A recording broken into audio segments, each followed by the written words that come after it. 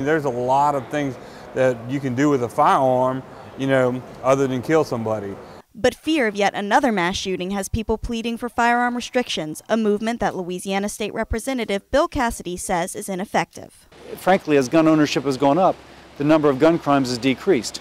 So it's clearly not the law abiding citizen who is uh, at risk for doing terrible things. It is either the mentally ill or the criminal. And President of Jim's Firearms, Jim McLean, has concerns for what more gun laws may do to your constitutional rights. Is it a slippery slope? Of course it is.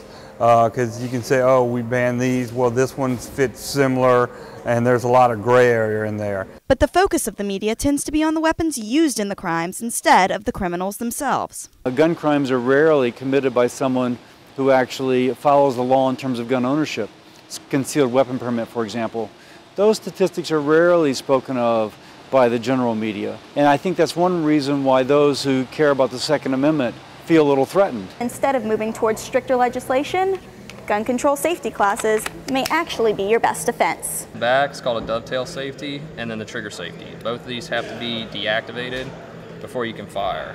What do you want to support firearms or not, or whether you're a gun owner or not, I think you need to be educated uh, in gun safety and on, you know, firearms ownership. So no matter your stance on the issue, being educated may mean the difference between life and death.